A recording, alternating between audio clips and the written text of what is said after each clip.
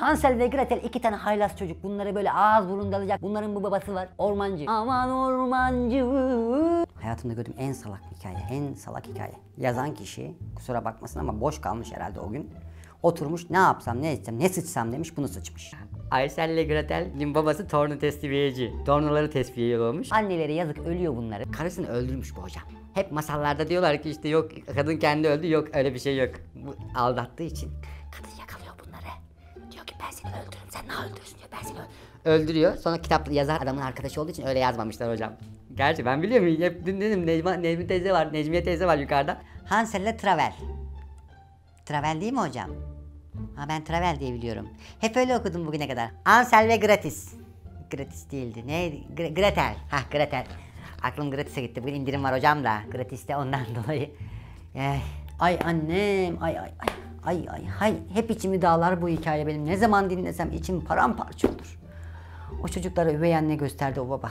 Allah belasını versin o adamın. Dedim o kadar dedim ki bak ormancılıktan iş yok. Sana bir tane dedim kokoreççi aç. Deli para var ama kafa yok ya işte orman dedik ormancı aman ormancı baban ormancı. Hansel ile Gretel çulsuz parasız pulsuz bir babanın çocukları. Bağcılar pazarından alışveriş yapıyorlar. Öyle fakirler yani. Hansel ile Gretel yengeç burcu. Çünkü anneleri ölüyor küçük yaşta. Onların anneleri öldüğü için üvey anne de geliyor.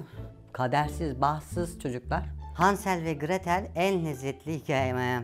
Pardon. En eee, sevdiğim romanlardan biridir hocam. Hansel ve Gretel'in babası annesi ölünce ikinci evliliğini yapmak istiyor. Sekse de düşkün bir adam herhalde ki yani. Hansel ve Gretel'in beni en ilgilendiren tarafı babası.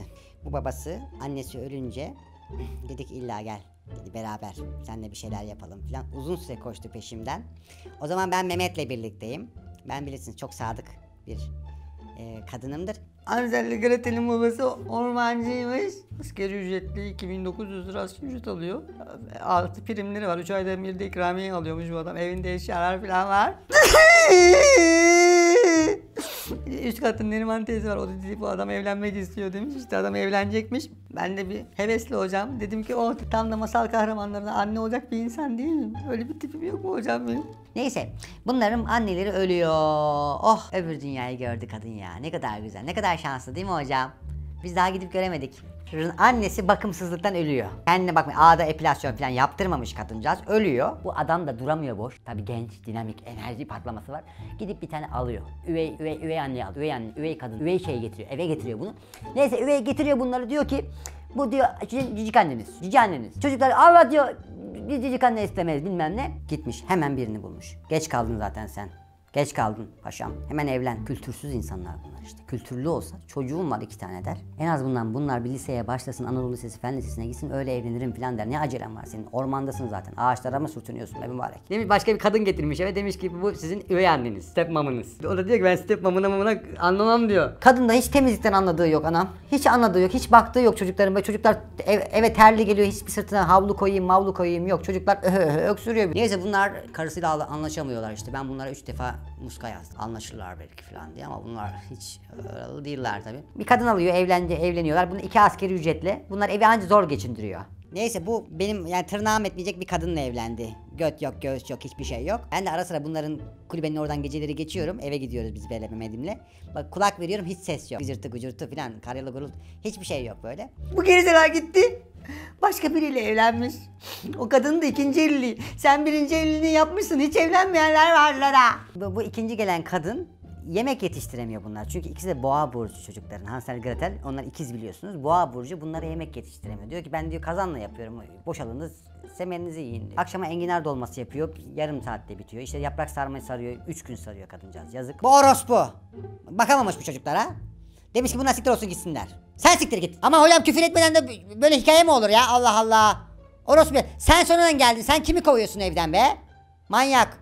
Çocuk onlar evin veli nimeti. Aldım ben dedim ki bak çocuklar üzülmeyin dedim bu kadar ya. Yani hayatta her şey var. Dedi abi ne üzüleceğiz diyor. Biz iki taraftan birden para alıyoruz falan dediler. Aha dedim iyi güzel. Benim üvey annem de bana kötü davranırdı. Zaten çok bahtsız bir insanım ben biliyor musunuz? Beni üvey annem doğurmuş. Kadın tabi bunlar fakir. Paraları pulları yok bunların.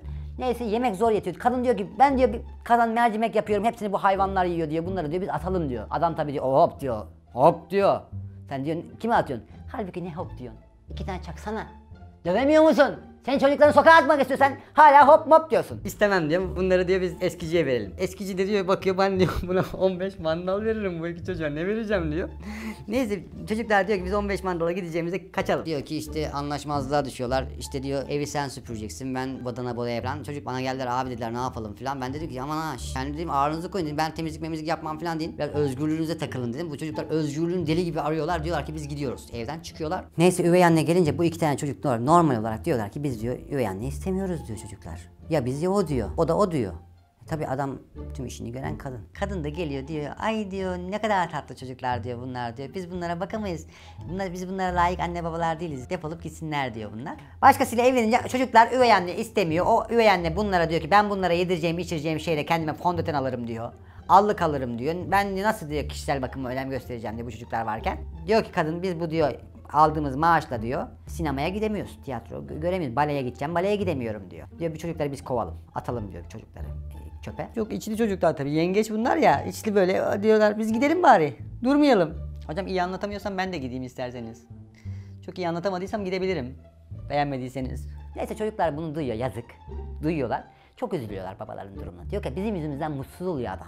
Biz gidelim, kaçalım buralardan diyor. Bunlar bir akşam vakti çantalarını sırtına koyuyorlar. İçine de ekmek yazık. Fakirler ya ekmek koyuyor. Bir PlayStation'ını alıyor çocuk, erkek çocuk. Diğeri işte tabletini alıyor. İşte iPhone 11'leri falan varmış. Onları alıyorlar. Onunla yola, yola çıkıyorlar bunlar. Kız diyor ki abi akbilimiz var mı? Akbil var.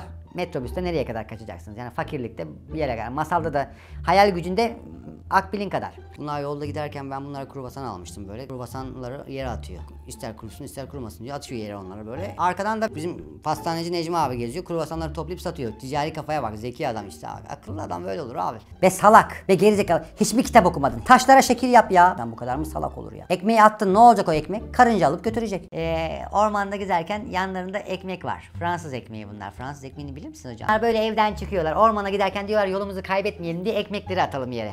Hemen kız diyor ki abi diyor ne gerek var ekmekleri? Ben diyor işte üvey annenin diyor makyaj malzemelerini aldım onlarla çizelim diyor. Mac'in göz kalemiyle yerleri çize çize gidiyorlar. İşte o bitiyor Bobby Brown'un allığıyla işte öyle sağa sola pudra atıyorlar, un atıyorlar falan böyle. Diyorlar böyle buluruz yolumuzu bilmem ne. Arkadan da fakirler geliyor.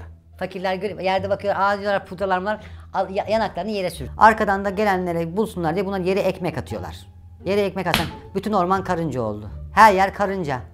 Hadi kim temizleyecek şimdi bu ormanın karıncalarını hocam? Her yer karınca olduğu zaman bu ormanı kim temizleyecek? Bak bak ben vallahi şu an huylandım yani.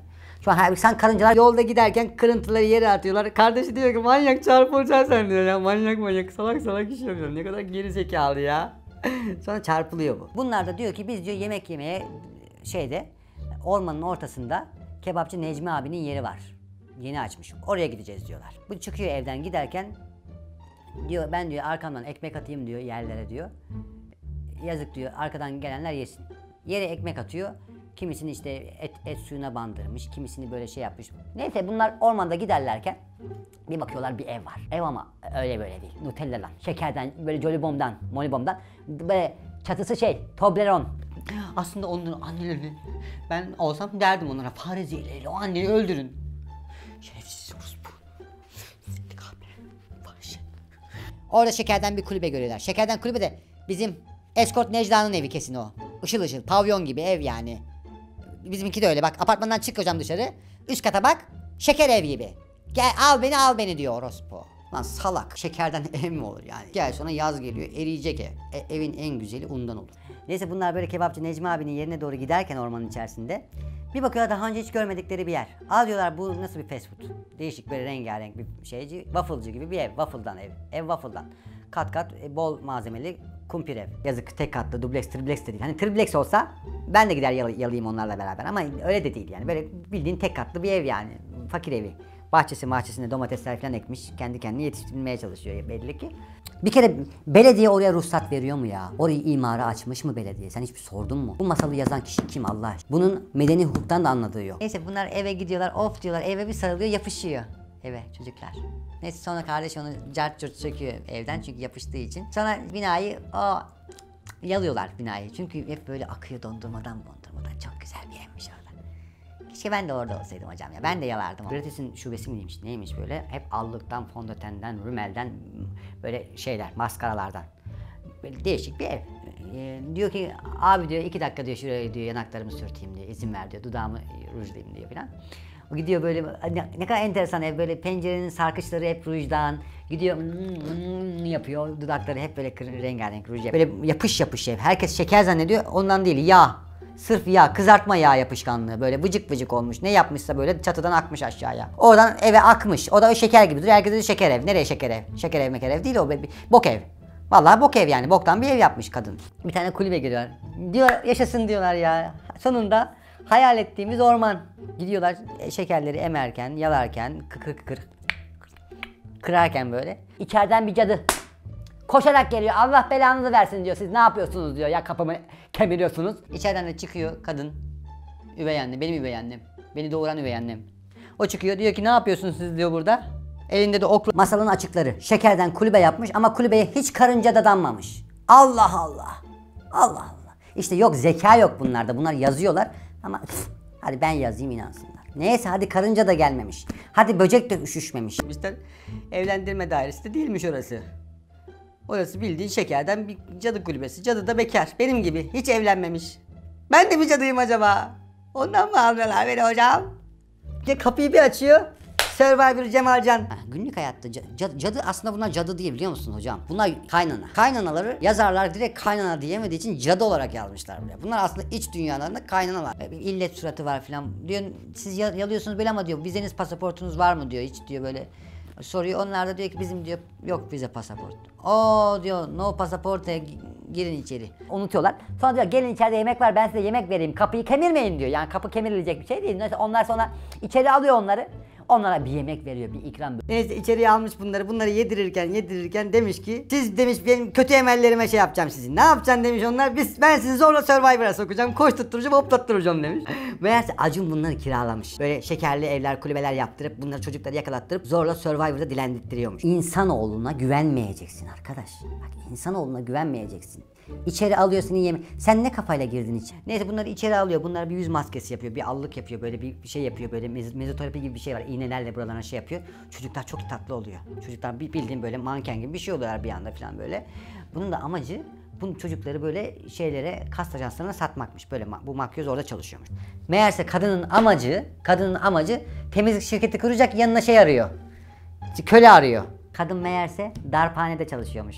Para basıyorlar. Para basacak elemana ihtiyaç var. Bunları kullanacak orada. Bunlar ormanda kaçmaya başlıyor. Kadın arkadan kovalıyor. Kadın tabii tanga gittiği için araya kaçıyor arası. Böyle düzelteyim derken yavaşlıyor kadıncağız. Tam böyle ormanın köşesinde onlar böyle karşılaşıyorlar babasıyla. Baba diyor sen ne yapıyorsun diyor ya. Sen ne yapıyorsun diyor. Diyor çocuklarım onu sormuyorum diyor ya. Eteğin açılmış görmüyor musun? Terbiyesiz tangan gözüküyor diyor. Fark etmemiş ormanda hızla koşarken eteğe basmış. Etek yırtılmış buradan her taraf gözüküyor. Bacak buradan buraya gözükmüş. Baba kılıbık. Cadıya da diyor ki ne yapıyorsun sen? Ne ne yapıyorsun? Çocukları kovalıyor. Bir ağız burun dal ya. Bir bir dövsün. Bu masalda hiç kavga dövüş yok. Bu masal tam hiç bana göre değil yani. Bu masalı kim seçti? Sen mi seçtin? Hiç kavga dövüş yok burada. Ben ben bu masalı çok beğendim. Tam böyle kovalarken böyle ay yakaladım yakalayacağım derken babası çıkıyor ormana. Ne yapıyorsunuz derken allık fırçası adamın ağzına giriyor. Neyse demiş ki sen benim çocuklarımı ne yapıyorsun demiş. Orada bir oracıkta kadını öldürmüş. Kadın bekar gitmiş. Hiç erkek eli değmeden gitmiş kadıncağız. Cennetlik herhalde. Ee, Pizza Hut'a dönerken bir yol var ya ormanda hocam. Pizza Hut, Burger King. O tam köşede. Orada babayla karşılaşıyor bunlar. Baba diyor ki neredesiniz siz? Ben diyor bak Burger King'den indirim kuponumu buldum diyor. Nerede? Çocukları eve getiriyor. Evde o illet çeknokos karı var ya. Suratsız şey, mendebur. Diyor, defol git sen diyor ya. Sen defol git sen kimsin diyor. Sen defol git diyor. Çocuklarım ben mutlu, mutlu bir hayat yaşayayım. Boşanma sürecini bekliyorum hocam ben de. Bayağı uzadı. Kadın tabii nafaka falan istediği için uzadı hocam. Ben de aylardır bekliyorum. Adam boşa çıksın ben de alayım diye. Bahtsızlığımızı anlatan bir hikaye. Aynen de beni anlatıyor bu. Aynen üvey anne var. Üvey dayı var bende. Benim, benim dayılarım hepsi üvey mesela. Benim dayılarım üvey, amcalarım üvey. Komşumuz bile üvey. Gerçek komşu değil onlar. Ben de yazacağım. Ben de yazacağım ama benim romanımdaki kadınlar genel müdür, muhasebe müdürü, işte maliyeci böyle hep böyle üst makamlarda olacak. Erkekler de hep böyle şey. işte bakkal cakkal onları yapacağım erkeklerde. Öyle. Tamam bitti. Kap kapatın. Ne sabaha kadar masal mı anlatacağım burada?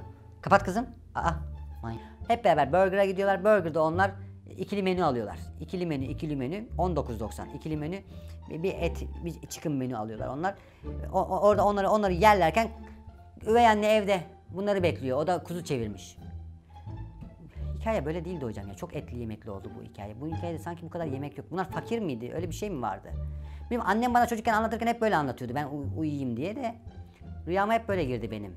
Çünkü ben, mesela bunun en sonunda deve çeviriyorlardı hocam. Kızar Öyle bir şey var mıydı hikayede? Mesela kırmızı başlı kız da babaannesine çağ kebabı götürüyordu değil mi? Nasıl hayır? Ba- Bana öyle anlattılar hep. Lavaş var mıydı? O da yok. Bilmiyorum. Bizim ailede hikayeler hep böyle anlatılır.